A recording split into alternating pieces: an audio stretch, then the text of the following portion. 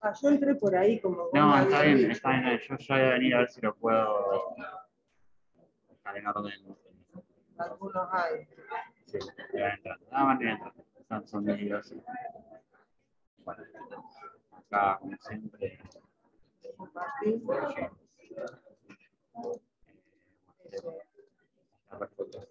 Como te prometo, la semana que viene. Bueno, yo para no Si no me avisas. No, no, sí me avisas, pero bueno, vamos a ver cómo lo solucionamos. Bueno, y ahora tenemos que solucionarlo en el ¿Cómo se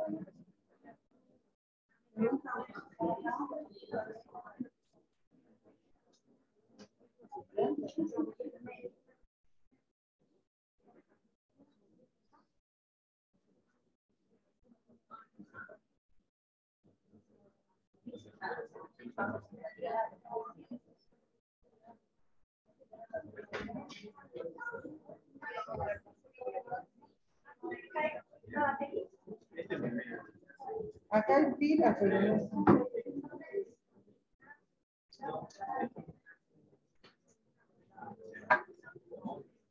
no tiene. Odio poner pila. Odio todo lo que se enchufa. En mi casa siempre le decía que no me compren nada que se enchufe de recho. Salvo la máquina de. Esa.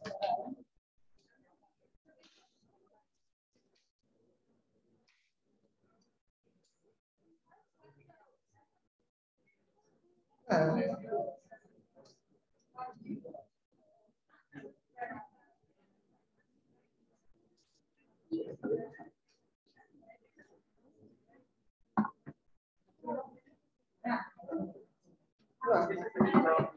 Este.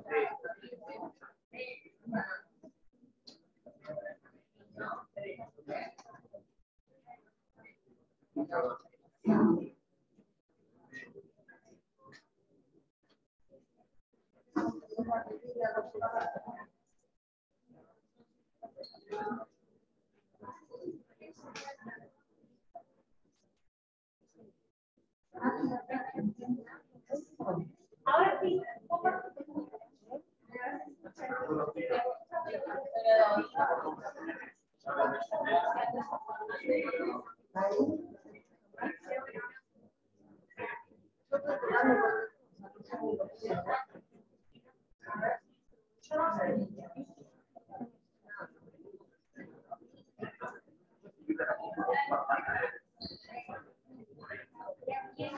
Hola,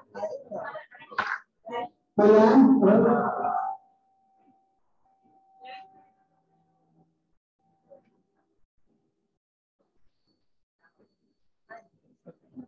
Ahí no está. Poquito.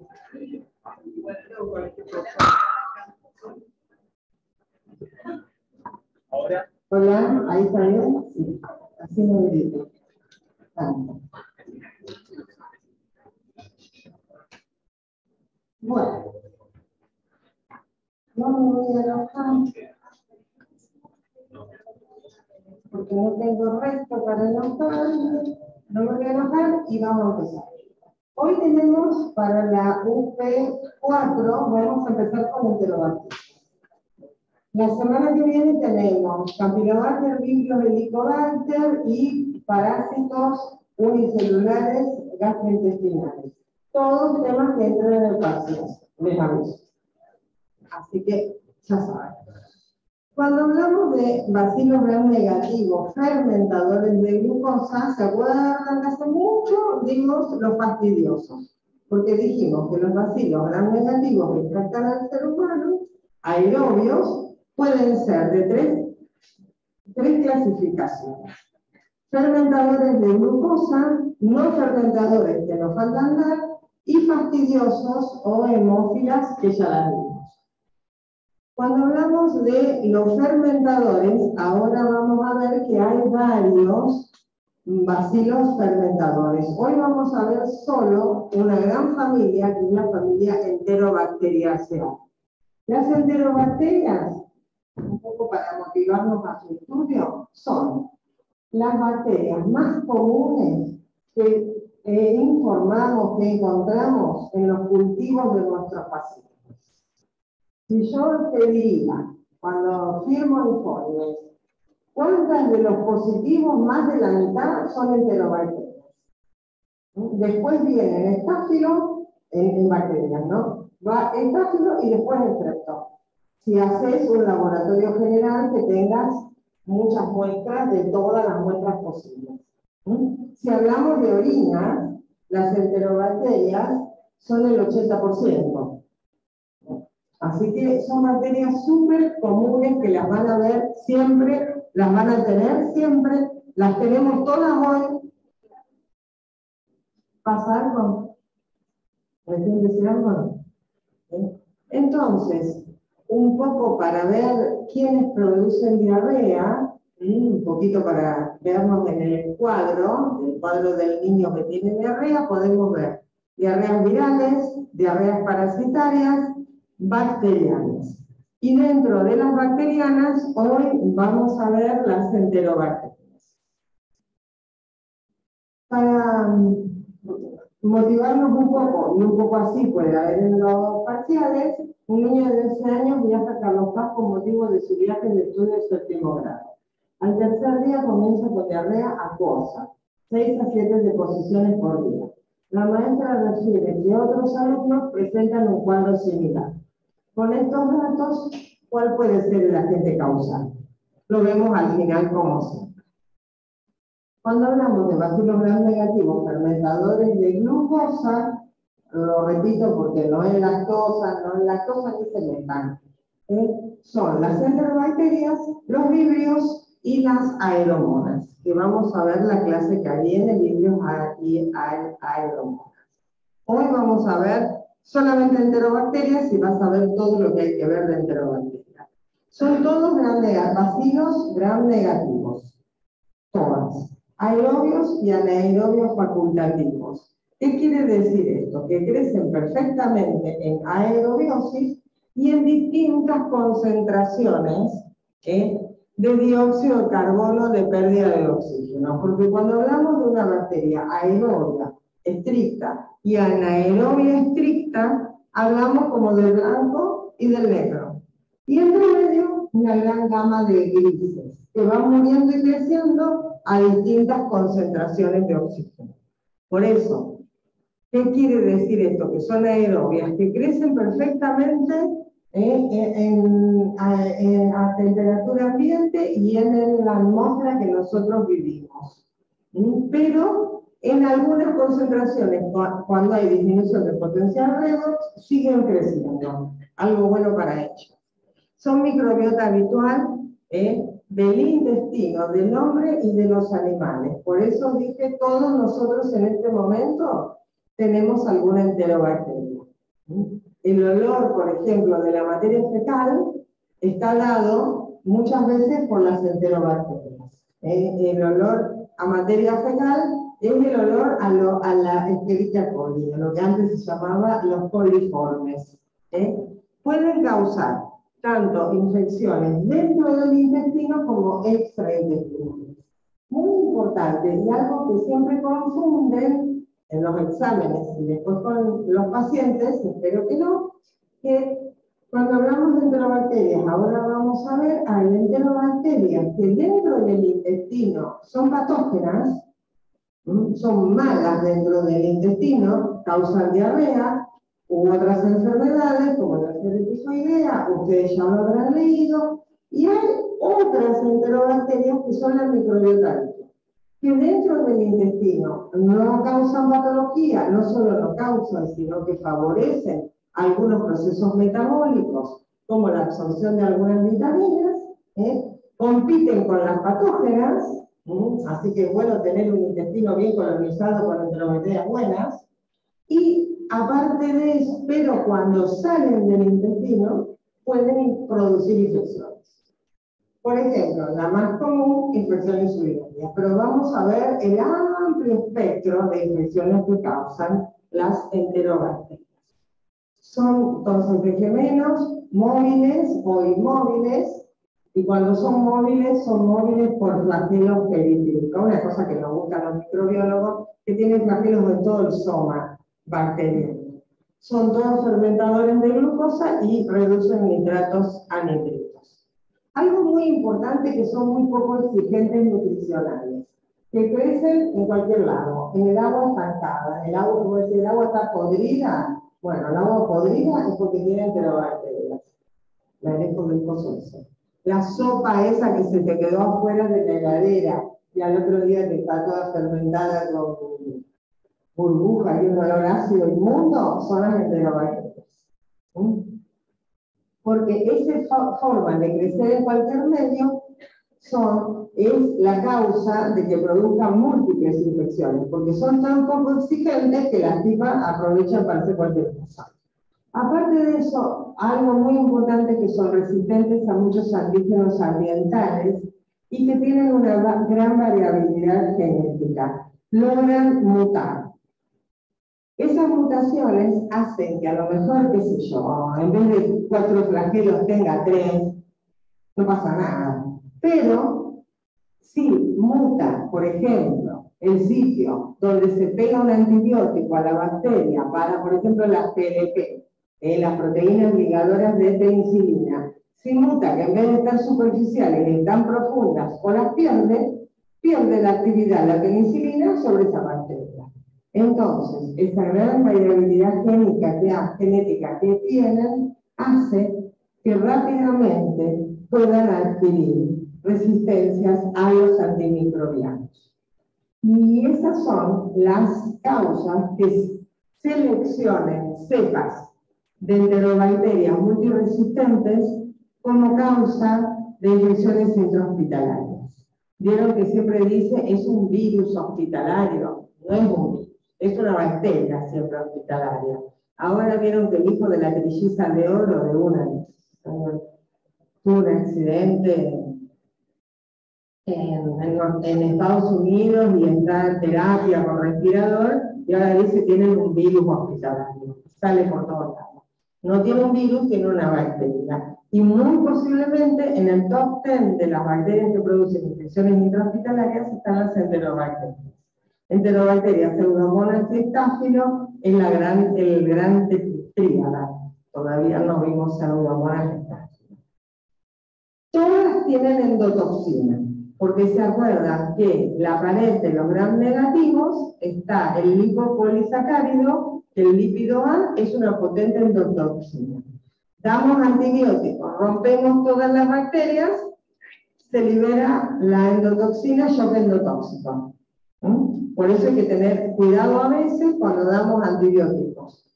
Bactericidas o bacteriostáticos. Bactericidas matan, bacteriostáticos inhiben el desarrollo.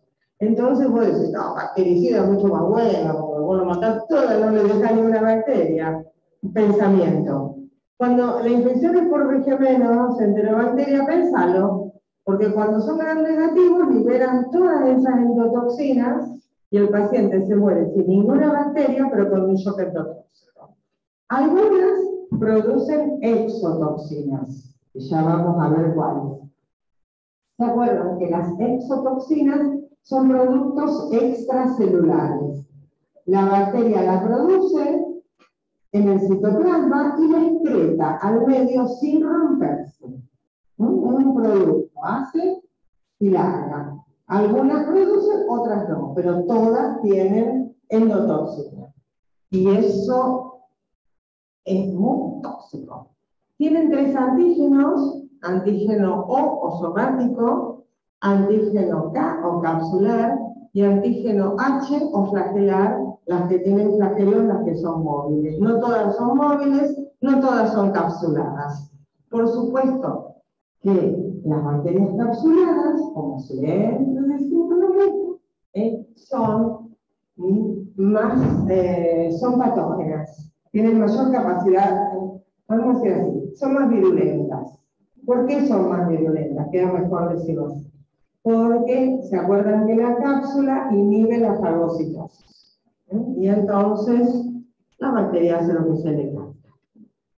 ¿Cómo las clasificamos entonces? En heterovirulentas eh, esas que dentro del intestino no son microbiota habitual, cuando están causan infección. Y en general causan diarrea, salvo salmonella que causa fiebre tifoidea, y las de la microbiota habitual que adentro del intestino no causan ninguna enfermedad, pero cuando salen son oportunistas y pueden producir eh, diversas infecciones, que las vamos a ver al fin de la clase. ¿Tienen frío? ¿Quieren que apague el ventilador? ¿Eso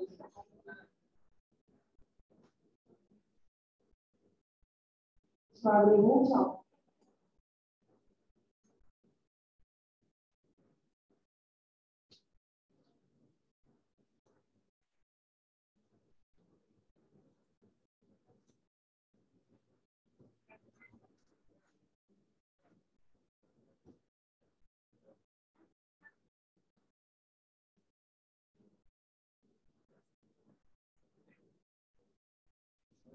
¿Quieren que cierre un poco las ventanas? Pasa que cuando entré era todo.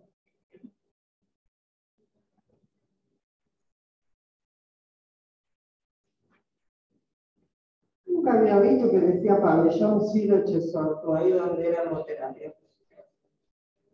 Ese Ciro Chesorto hizo de todo. Eh, sí, el barrio allá, Villa Hortensia, creo que también era de Vamos a empezar por las enterovirulentas.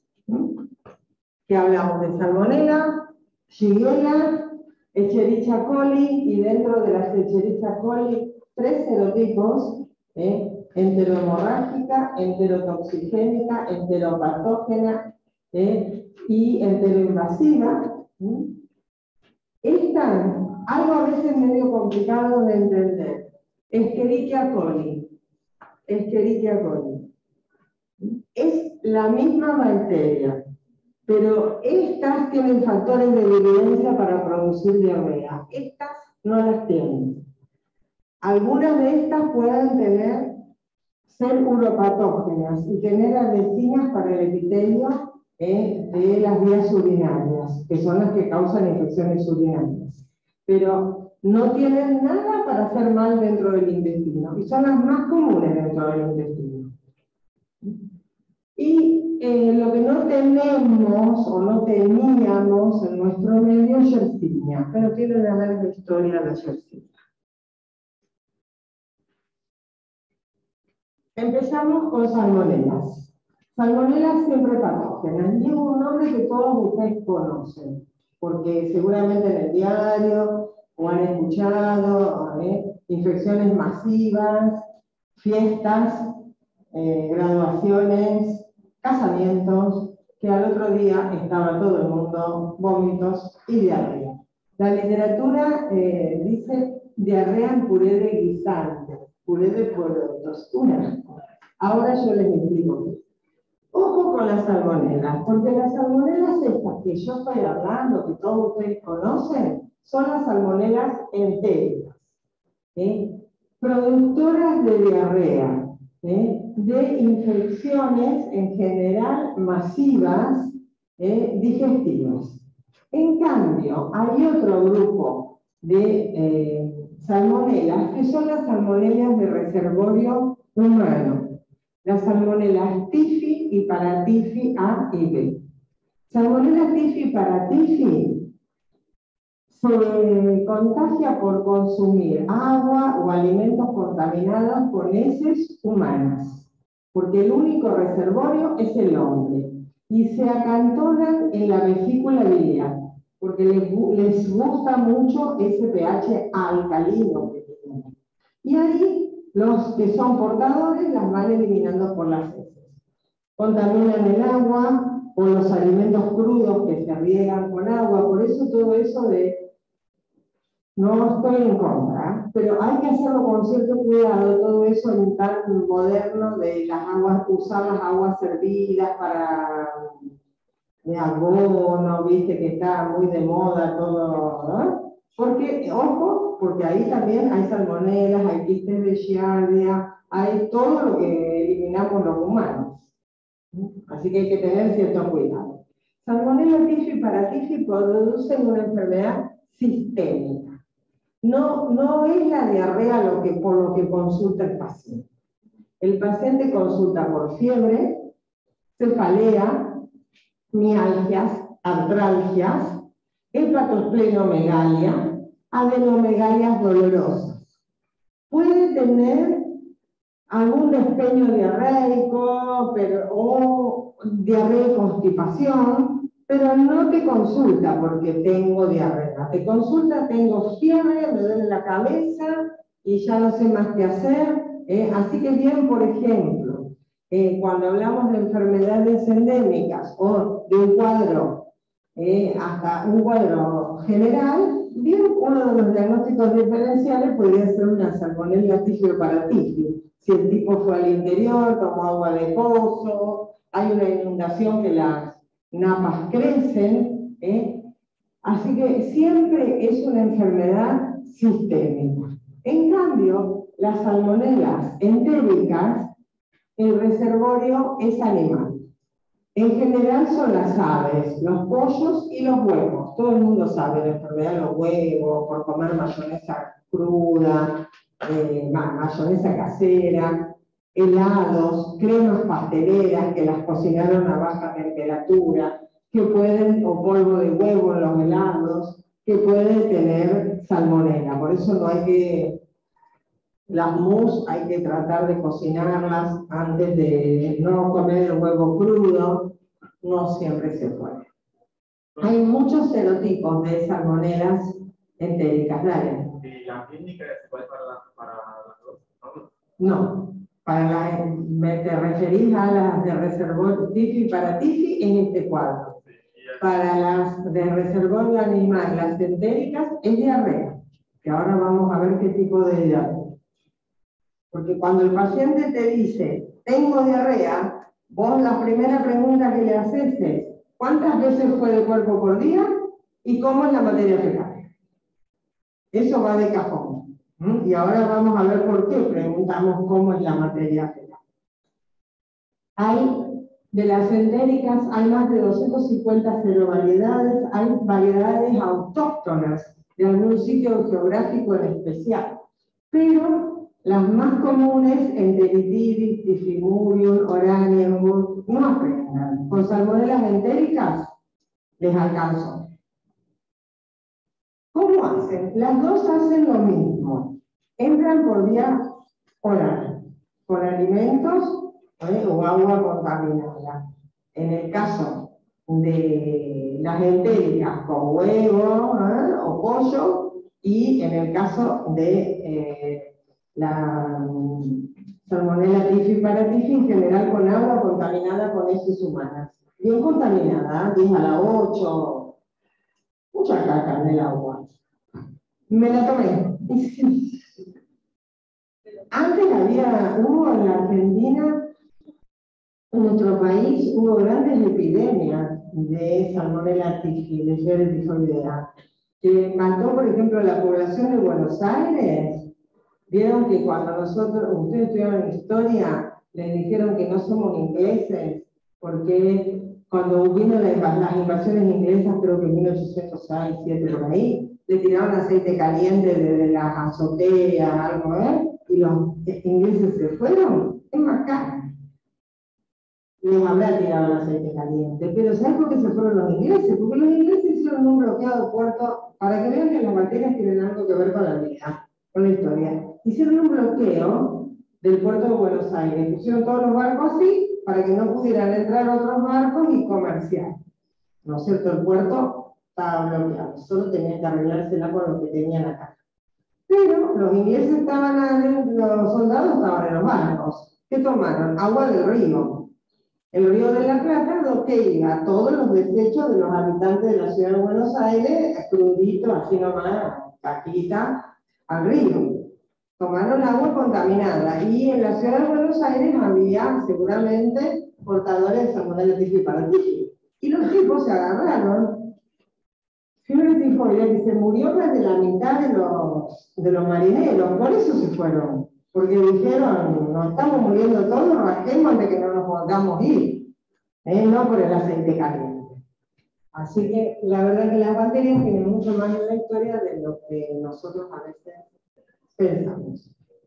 Hubo en el, en el siglo XIX también una gran epidemia que se murió la mitad de la población de Buenos Aires por fiebre tifoidea. Cuando no había cloaca, no se eliminaban correctamente las excretas. Eso sigue pasando hoy en muchos pueblos de nuestra provincia, no, sin ir muy lejos. Así que si hay algún portador, ¿qué pasa? Son muy virulentas, entran. Una vez que entraron, llegan al intestino. Cuando llegan al intestino, hacen un mecanismo que se llama translocación. ¿Qué hacen? Entran eh, y dentro del enterocito las fagocitan y hacen como una vacuola. Y esa vacuola va entrando todo adentro migrando dentro del enterocito, pasa a la membrana basal, va a la lámina propia y ahí se multiplican. Por eso hay bacteriemias, porque atraviesan el enterocito, no se quedan dentro del enterocito para producir inflamación aguda. La inflamación aguda la producen en la submucosa.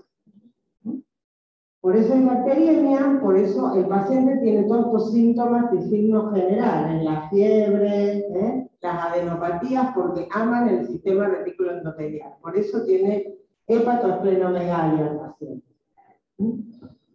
Una vez que, y pueden quedarse acantonados en vesícula biliar o en los ganglios, sobre todo ¿eh? del mesenterio.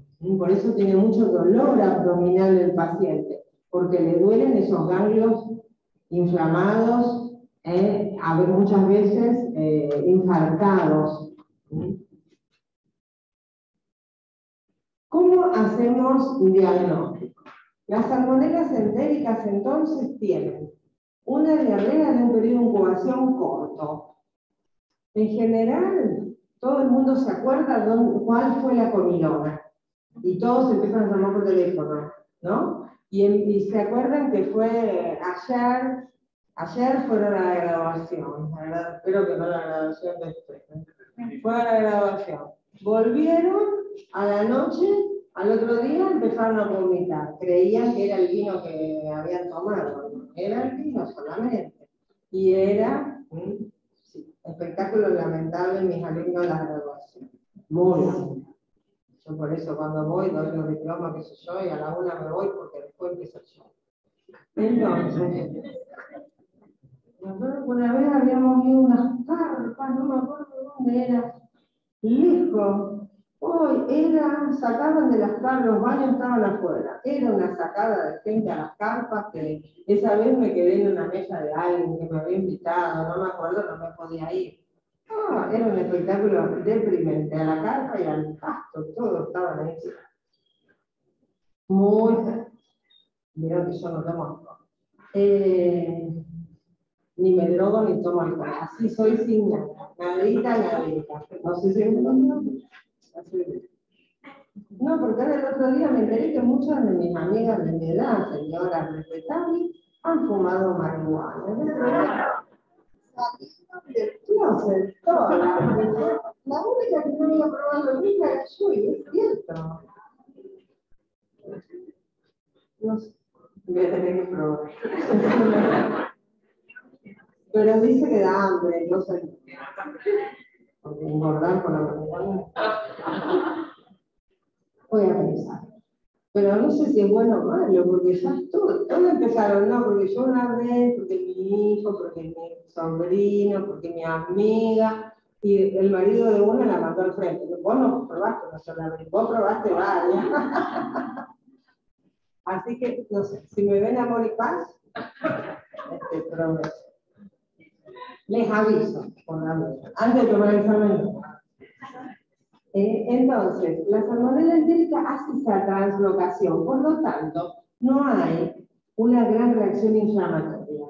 Eh, hay, en las heces va a haber escasos leucocitos, porque al pasar produce una reacción inflamatoria, pero no es como la shigella que vamos a ver dentro de un rato que se queda en la célula la molesta, la molesta la célula, dando una inflamación aguda con producción de pus, moco, pus y sangre.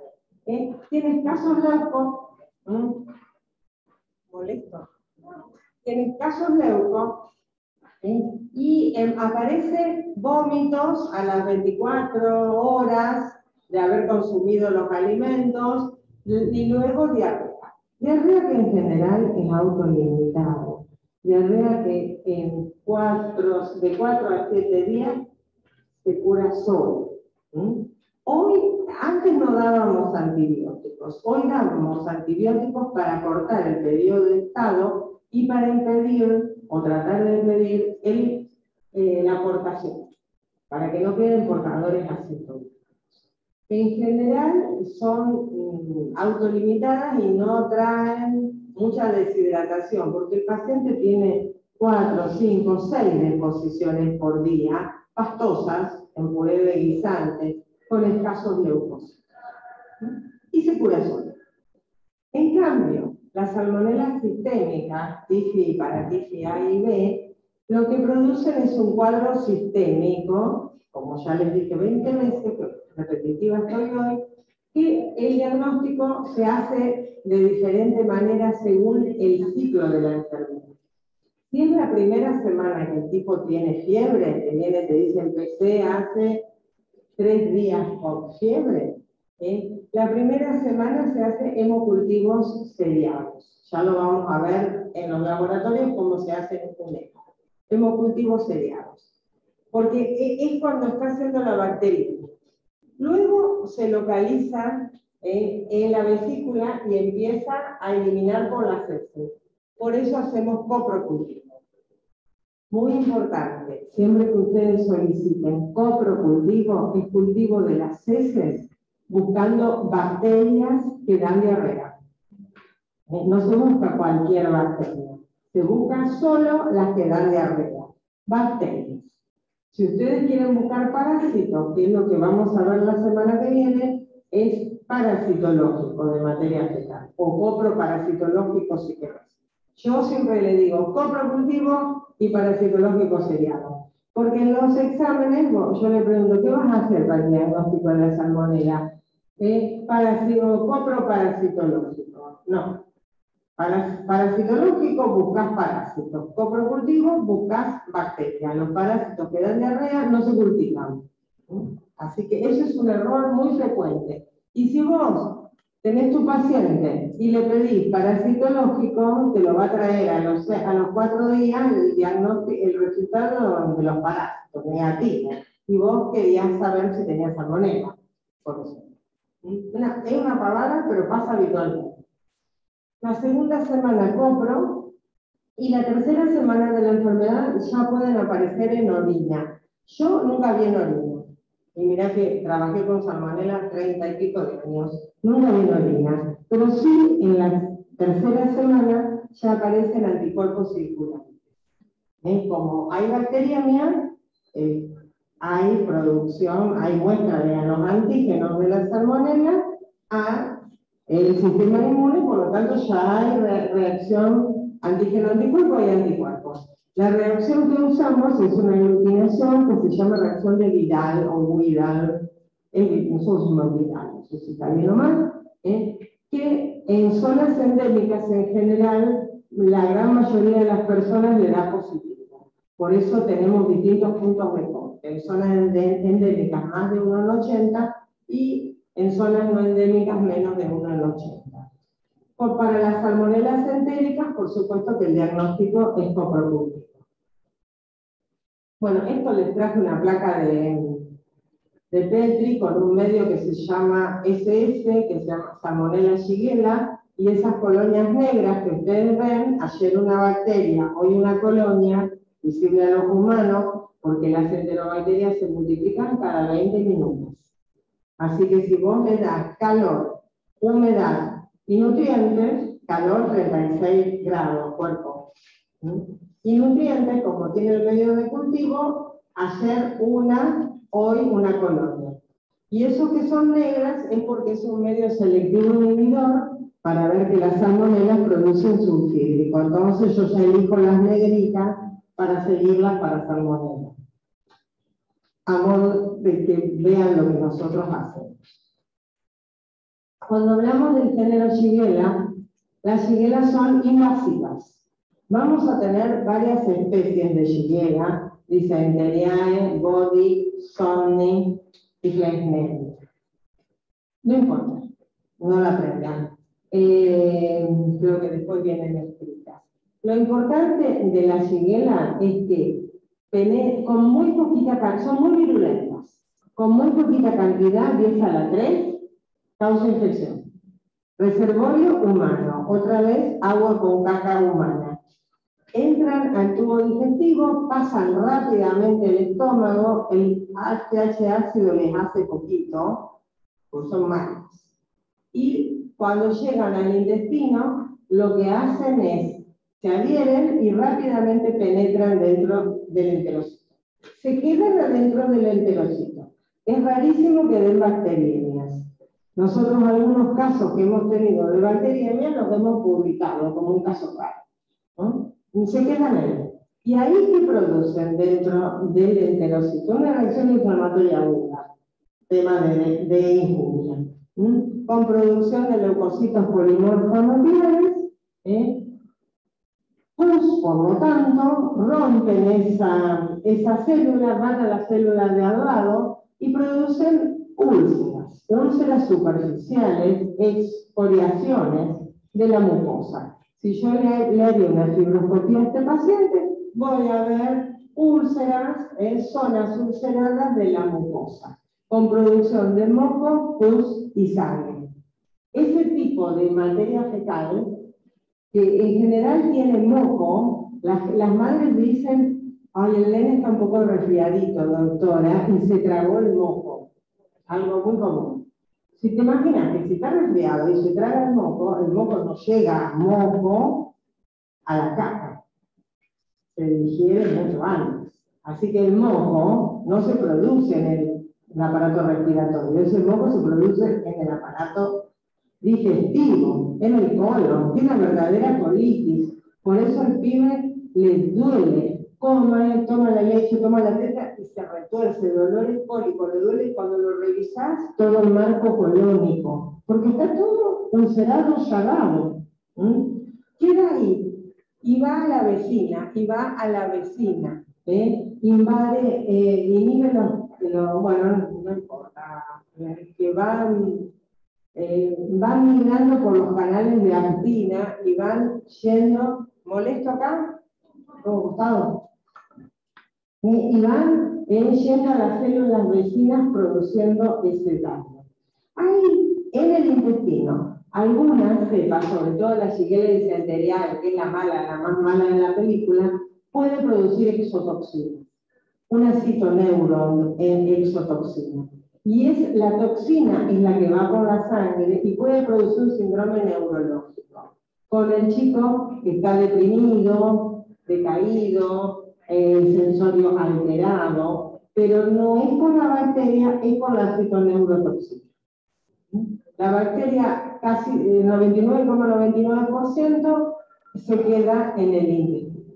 Por eso, eh, la shigella disenteriales sobre todo, es el paradigma de la diarrea invasiva, moco, pus y sangre. Cuando hablamos de paradigma, hablamos del caso, viste, ah, bueno, viste que ahora los, ¿cómo se llaman esto? A los que hacen educación, ¿no? les gusta el paradigma, todo eso, bueno, es lo top de las diarreas invasivas moco, pus y sangre. Y estría sanguinolenta, no sangre roja, sino, bien como también se llama esputo rectal, ¿eh? porque el paciente hace un poquito, el chiquito toma la leche, por ejemplo, come, llora porque le duele, defeca. 5, 6, 7 porciones por día. Materia fecal blanda y moco. No se deshidrata o se deshidrata poco, porque no es líquido, sobre todo lo que tiene. Pero tiene gran dolor y puede tener complicaciones. En los adultos también hay que hacer diagnóstico diferencial con las colitis ulcerosas. En los niños pequeños, no. Eh, siempre, por eso las heces, se- cuando se empezó a ver las características clínicas de las heces, pusieron el paradigma, la shigella disentería, el moco pus y sangre, ese es disenteriforme. Diarrea invasiva, todos sinónimos. Heces disenteriformes, disentería, diarrea invasiva, diarrea con moco, pus y sangre, esputo rectal, catarro rectal. ¿Mm? Todo nos está indicando este mecanismo de acción.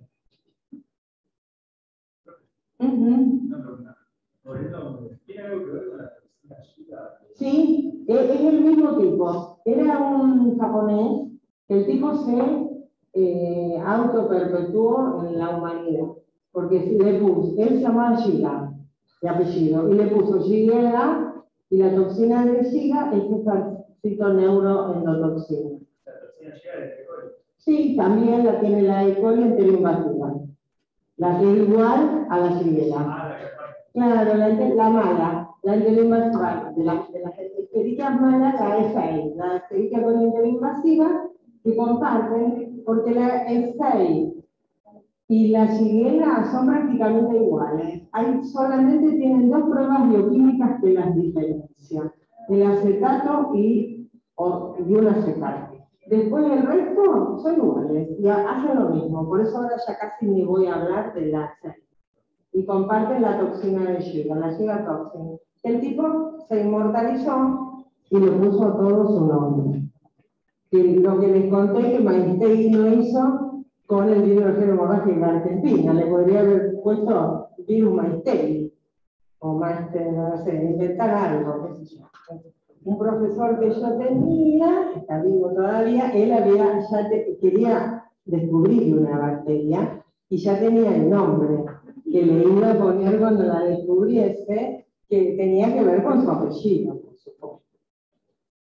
Y un amigo que tengo chileno, un amigo del microbiólogo, le ganaron de mano porque encontró un arcanobacterium, una bacteria rara, en los lobos marinos de la caca, de los lobos marinos de Valdivia, en Chile, en el sur de Chile, qué hermosa ciudad. En mi puerto hay todo lobo marino, los ayudantes, es decir, ustedes, tenían que ir a la mañana con un hisopo a buscar caca fresca de lobo marino. Y ahí encontró una bacteria que él le quería poner, pero le iba a poner Arcanobacterium valdiviensis. Y los de Copenhague, creo, le ganaron de mano y se la pusieron. Y no lo puede resolver eso. Cada vez me, cuenta lo mismo, yo me lo contaste, pero está lo que no aparece el valdiviensis. Por eso todos se inmortalizaron. Profe, Ujú. de la infección al cuadro clínico de salmonella y ¿cuánto hay de tiempo? O decir periodo de incubación. De salmonela dije que era corto, sobre todo para las salmonelas entéricas, 24 48 horas. Lo mismo pasa para la shigera.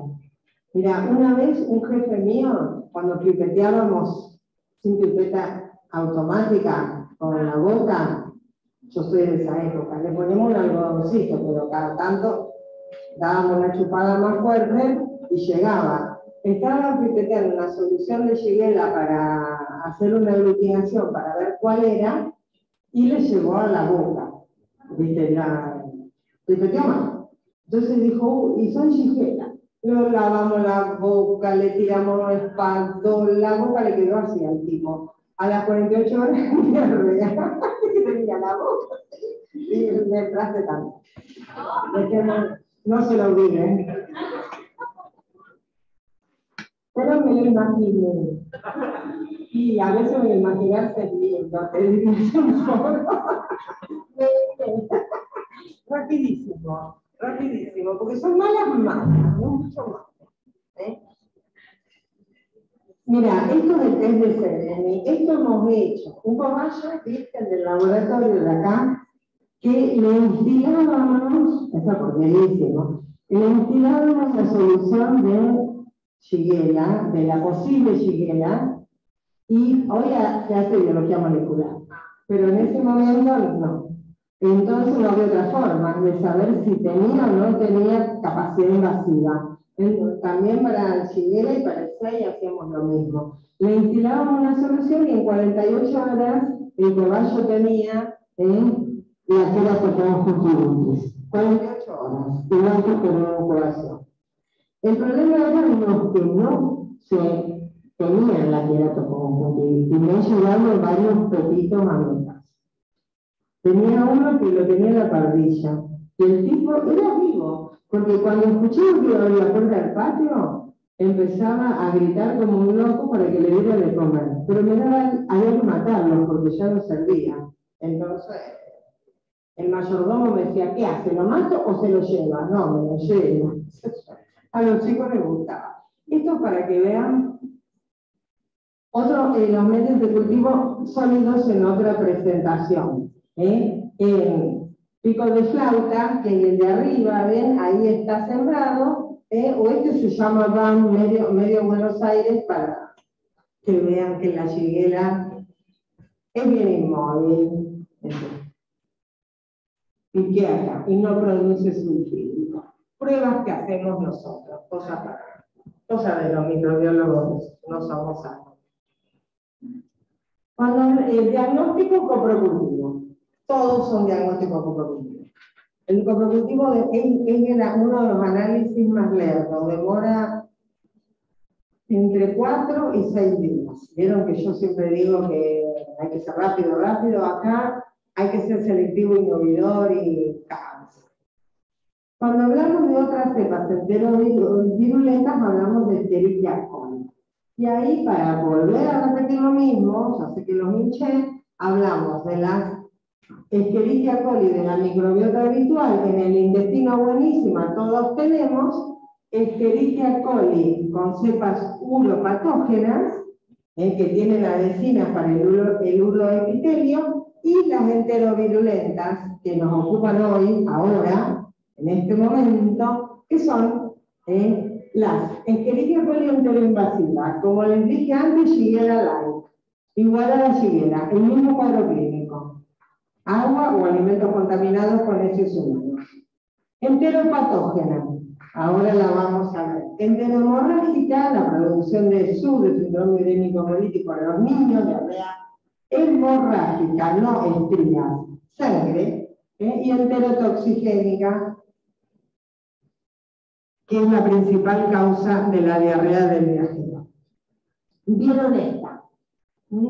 En la enteropatógena. La enteropatógena por años se dejó de lado, como que se decía que había sido un invento, un poco de historia de la medicina. Se dio allá por 1912, 14, las primeras veces en eh, asilos de, niños huérfanos, ¿viste? que los tienen todos juntos, que padecían con diarrea los pibitos.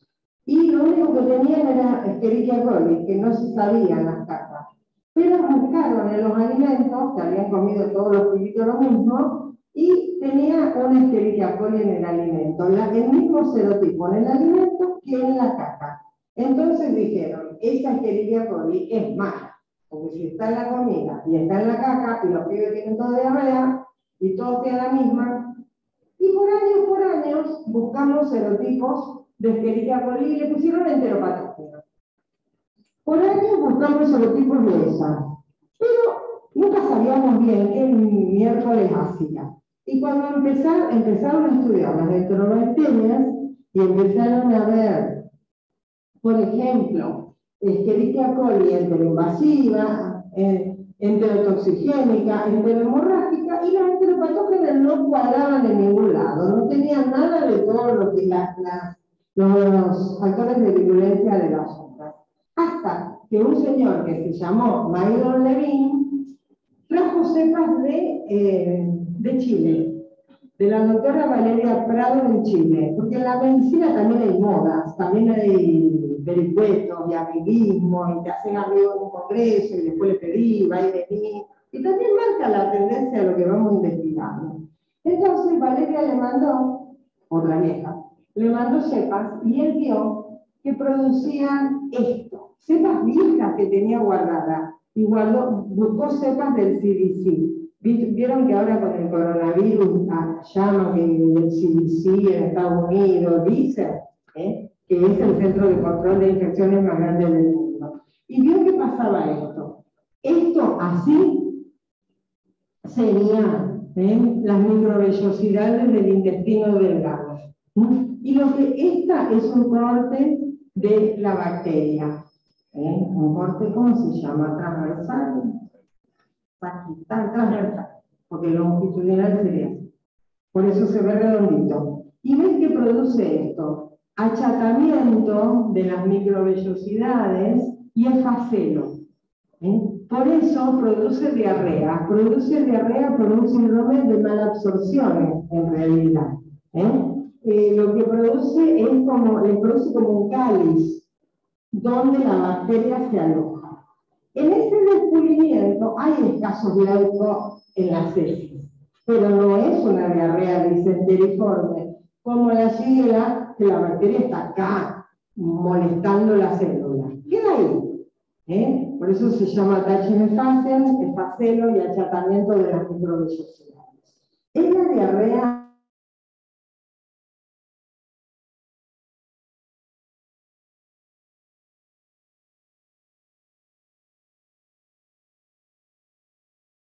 escrito que hizo una sala llena, nadie sabía lo que era esquivar. Cada vez me acuerdo de eso me agarro. ¿Vieron esa diarrea que la gente dice, tomó, eh, hace calor, pero tomó frío en la pancita y tiene diarrea verde porque tomó frío? Tomó frío en diarrea. Eso es un verso total. Comió algo contaminado, ¿eh? Eh, con Escherichia coli, enteropatógena y producen diarreas autolimitadas y en niños eutróficos en realidad no pasa a mayores. El problema es los desnutridos y el problema de estas diarreas son las deshidrataciones.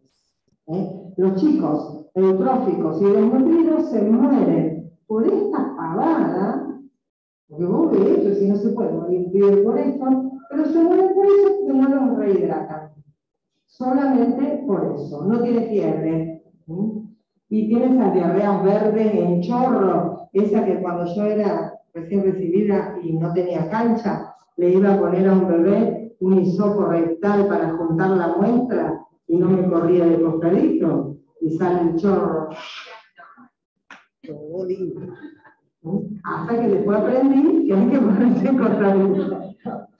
Una pavadita, pero nadie me lo había enseñado. Me llevó varias chaquetillas, porque en esa época usábamos chaquetillas, varias chaquetillas con verde de caca.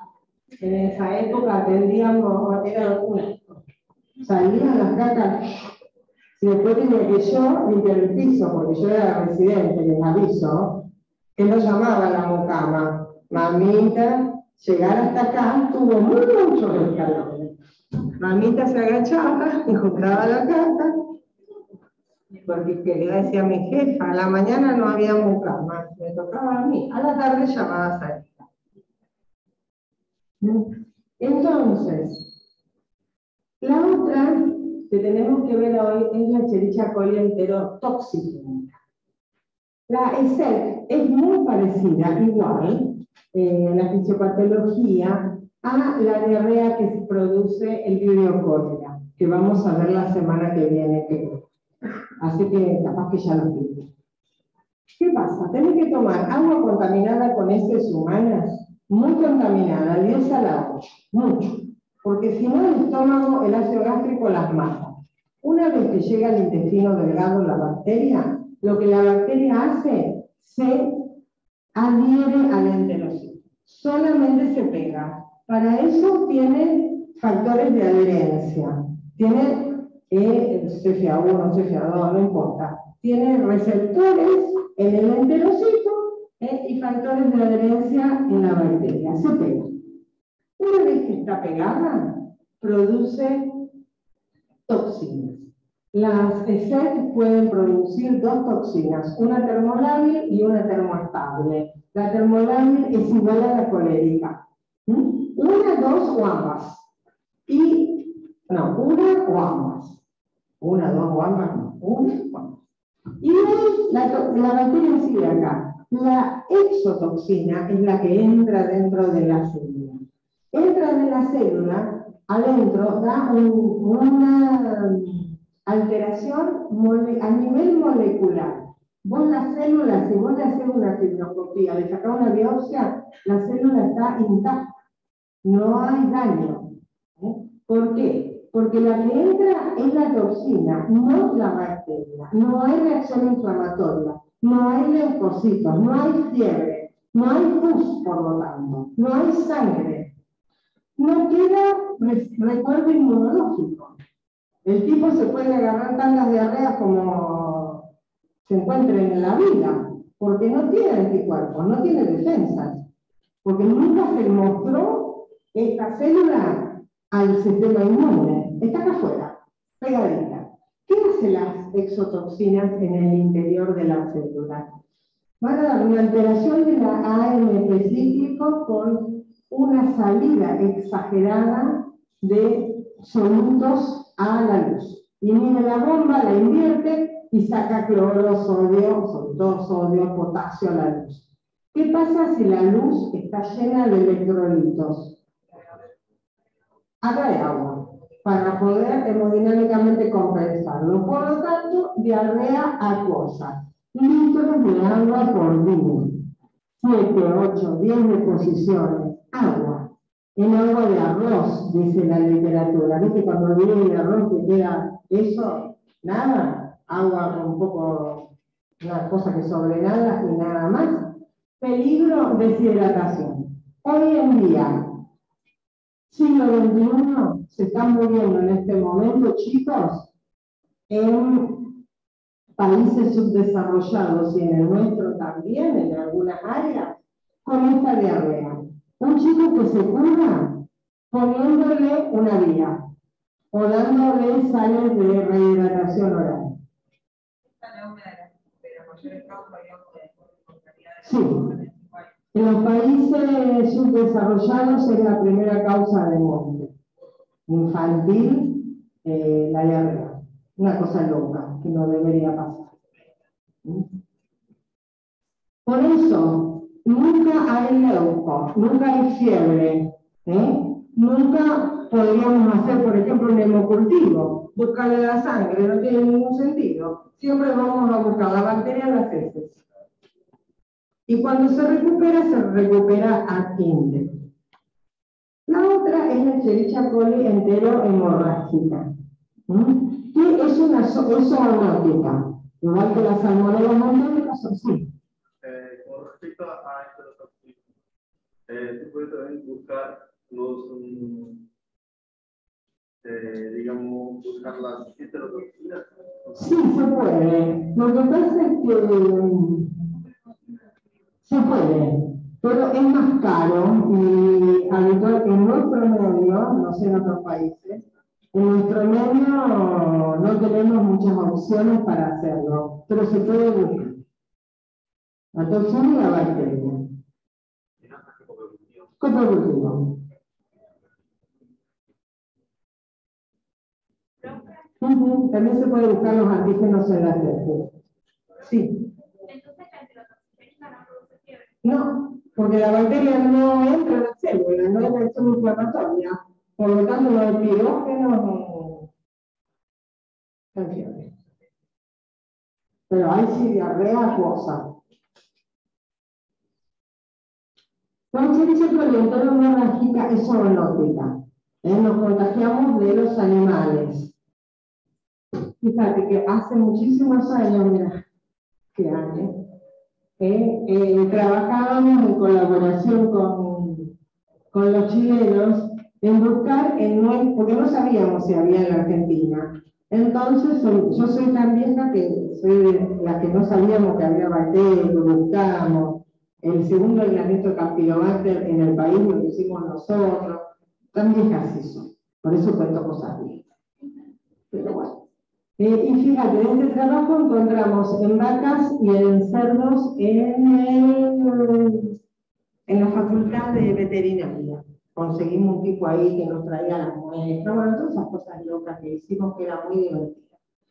La Escherichia coli enterohemorrágica puede producir diferentes cuadros.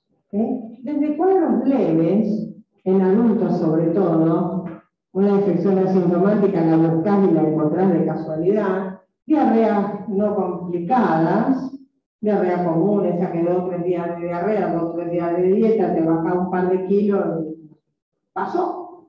Colitis hemorrágica, que ahí hay que hacer diagnóstico diferencial con las autoinmunes, y en estos chicos que tuvieron colitis hemorrágica hace dos a tres semanas, puede complicarse el cuadro con un síndrome bulímico hemolítico.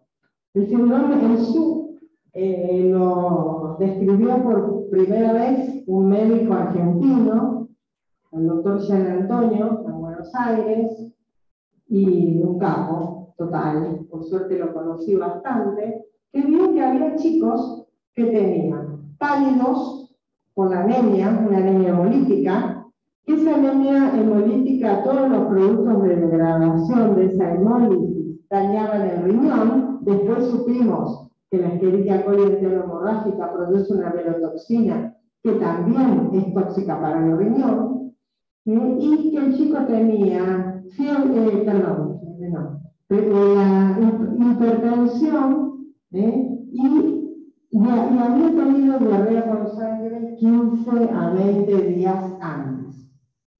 Es una enfermedad que en general da insuficiencia renal aguda, en algunos chicos insuficiencia renal crónica quedan, u otros hasta mueren por, sistema, por síndrome urémico hemolítico.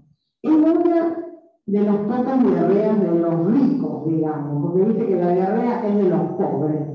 No tener agua potable, mala higiene, mala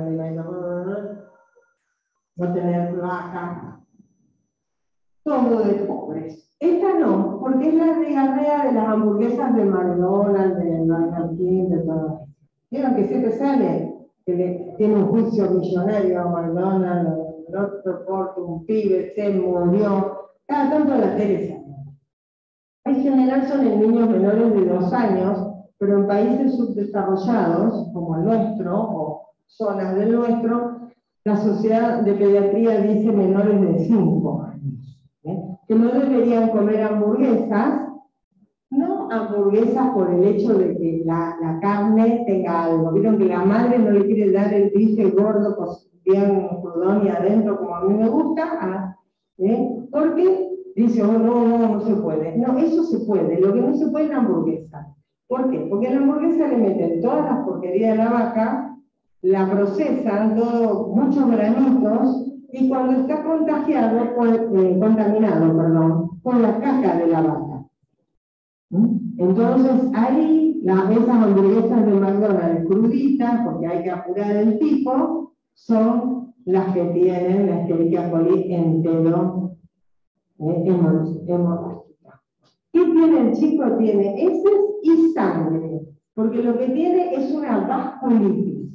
Esa velotoxina va a producir necrosis del intestino con una verdadera vasculitis, así que es sangre pura, no es moco y estrías sanguíneas. Y también una enfermedad post-infecciosa puede aparecer púrpura, trombocitopénica, trombótica. Todo por comerse una hamburguesa madre. Mi marido estaría contento porque lo odia. Entonces, ¿ves? Lo que ya les conté. Y no, lo que sí, nosotros tenemos una incidencia altísima del sur, la más alta en todo el mundo, más del 20%.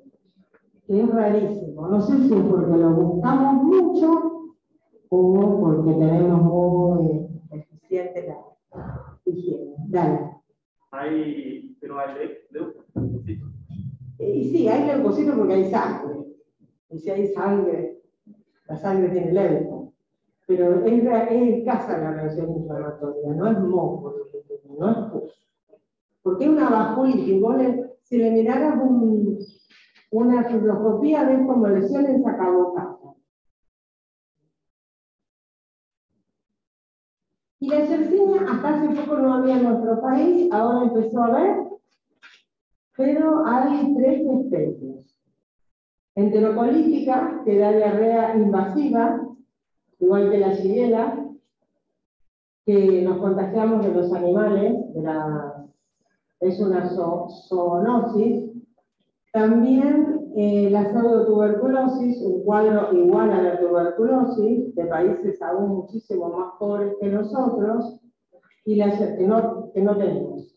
Y la Yersinia pestis, que está erradicada del mundo, en el mundo, que es la productora de la peste bubónica, o peste negra. Todos ustedes se acuerdan, hoy estoy memoriosa, todos ustedes se acuerdan del, del cuentito del, del flautista de, de Hamelin, que llevaba todas las ratas a morir al río porque una zoonosis, que en la Edad Media diezmó la población de Europa, porque parece que eran muy sucios los tipos, que tiraban todas las calles, esas callecitas divinas que hoy vemos en Europa que paseamos, era todo mugre.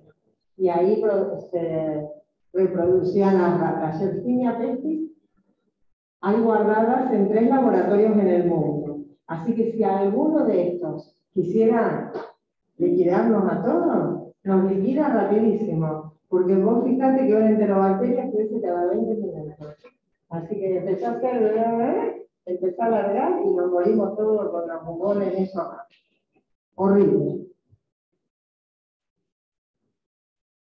Ah, y esa, no me puse ahí porque quedaba feo, pero la saqué yo, es la columna de la peste de eh, Praga. En todas las ciudades medievales, hay, hay, si ustedes han ido o cuando avanzan, vas a ver que en la plaza principal hay una columnas de estas muy altas, porque era la creencia que había que llegar hasta Dios para que te ayudara a pasar la peste bubónica. No lo pasó. Se. Pero bueno, quedó ese. Era lindo. Vamos a las oportunistas. Y en un ratito termino. 10 minutos, 5, no. Hoy estoy muy cansada, pero se nota que estoy cansada. No pueden decirme. Por eso me parece que hablo medio, voy como tranqui, ¿no? Pero bueno, ya me va a venir la onda. No fumé. No fumé. ¿Me agarró? No, porque tampoco fumo cigarrillos. Soy un desastre como me Pero me. Cuando hablamos de estas oportunistas, son de todas estas enterobacterias que viven, conviven con nosotros todo el día, en nuestro intestino, están todas contentas y que queremos tener en el intestino. ¿Viste eso que dice que hay que recobrar la flora y ahora con los probióticos y los prebióticos? Justamente nos defienden de las malas, porque si vos tenés un intestino limpito, limpito, como quería Michael Jackson, estar estéril, es una porquería un hombre estéril, una persona estéril. Porque una enterobacteria que entra, patógena, por ejemplo la salmonela, se encuentra con un intestino libre, la mina se contagia. Nos debemos comer un montón de porquerías, habitualmente, que no nos producen diarrea porque compiten por nuestra microbiota. Nuestra microbiota le dice, no, che, ajá, vos no sos de acá, yo como, vos no comés. Y así nos vamos salvando. Esas que nos salvan en el intestino nos afectan cuando salen del intestino. Por el, lo top, el paradigma, infección urinaria. ¿eh? La primera causa de infección urinaria son las enterobacterias. Sobre todo infecciones urinarias bajas, que son más del 90 y pico por ciento de las infecciones urinarias. Ascendente. ¿eh? De la uretra ascienden hacia la vejiga. Abscesos, infecciones respiratorias, sobre todo infecciones neumonías asociadas al respirador o a pacientes que han estado en UTI, o por ejemplo complicaciones de neumonías virales, por ejemplo coronavirus, de coronavirus intubado que después tienen una neumonía por Klebsiella. Eh, En los recién nacidos dan meningitis y sepsis. Del recién nacido las enterobacterias, que la sacan de la madre cuando pasa por el canal del parto. Aparte de eso pueden dar artritis, peritonitis, cuando hay rotura de víscera hueca del intestino, en el, en el hueca el contenido intestinal al peritoneo, por ejemplo, por apendicitis perforada. Pueden dar colecistitis, pueden dar artritis, pueden dar eh, infecciones de la piel, por ejemplo, pie diabético, eh, o lesiones de la piel que se infectan, heridas, heridas quirúrgicas, sobre todo heridas quirúrgicas abdominales, ¿eh? después que lo operaron al paciente, por ejemplo, una apendicitis aguda. En un gordito, cuando vos le vas a curar la herida, ese panículo adiposo, quedaron dos o tres enterobacterias, curarse eso. ¿Cómo? ¿Pie diabético qué es? No, no lo causa, lo infecta. El paciente tiene un pie diabético por la poli- polineuropatía, tiene lesiones y ahí aprovecha, solo infecta. Entonces la lesión que era seca se transforma en húmeda, purulenta y progresa mucho más rápido. Y re difícil de sacarla. Una vez que entraron, porque ahí no hay mala circulación, no llegan los antibióticos. Así que es un lindo problema. Fíjate todas las infecciones que da. Este es un gram de una orina. Teóricamente, cuando una orina normal, un urocultivo normal, se debería ver así. Nada. Estos son leucocitos polimorfonucleares y estos que ven acá.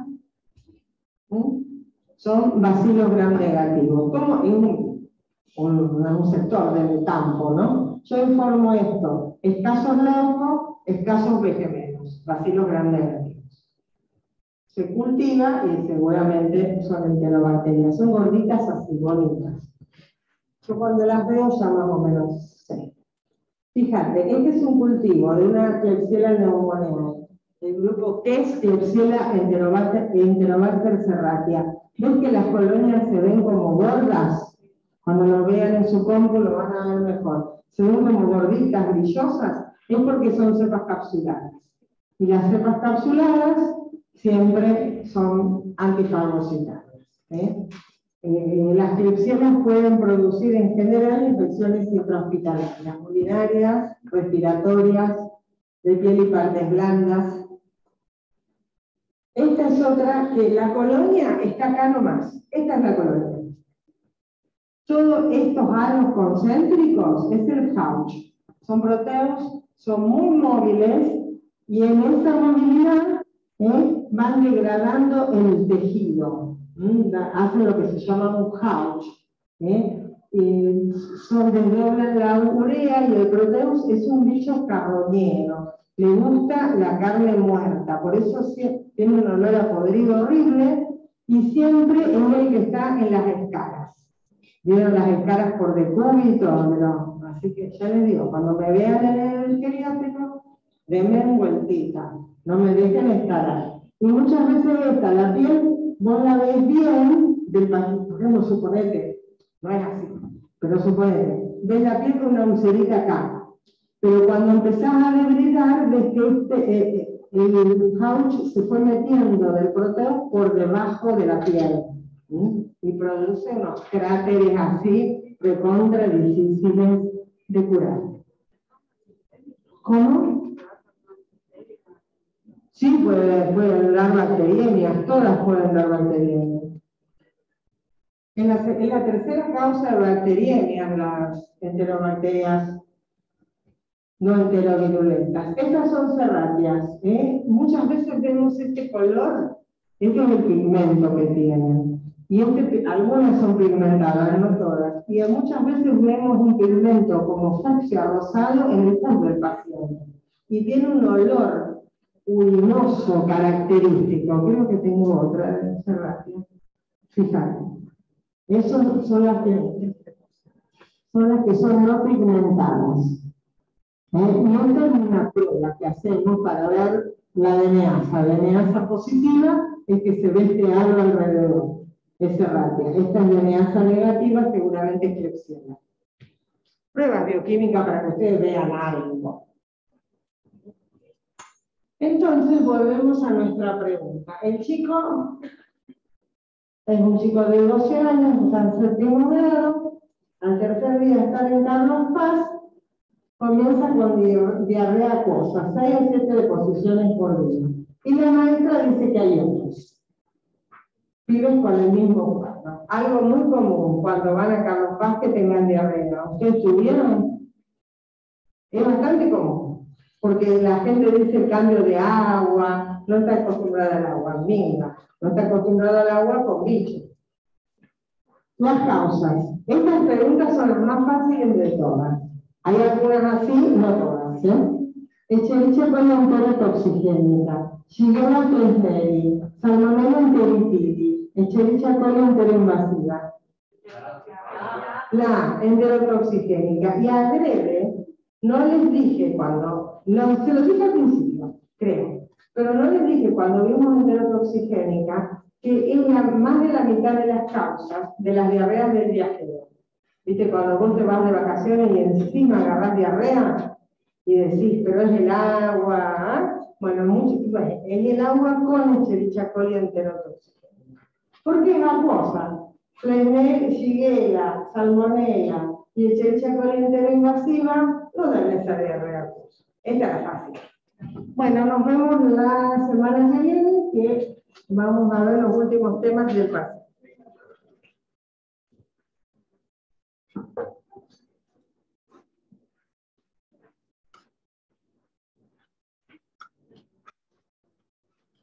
¿Todo bien?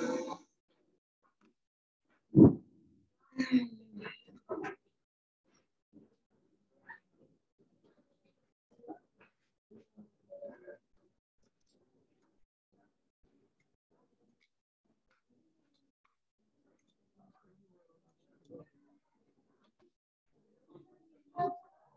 lo que escuché allá, digo, Justamente este tema.